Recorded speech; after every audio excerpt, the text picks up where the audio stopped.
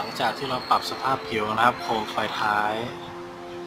ไล่กลับมาส่วนที่ยังไม่ได้ปรับนะครับ